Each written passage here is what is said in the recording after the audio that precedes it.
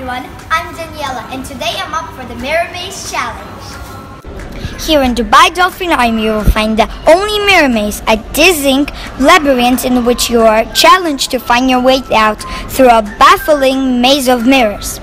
My challenge for today is to find my way out as fast as possible. But remember, safety comes always first.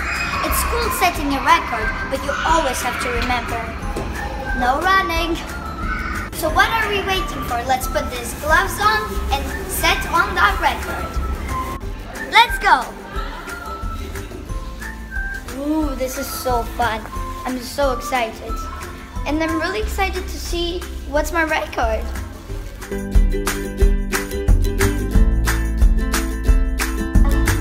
Safety always first, my gloves.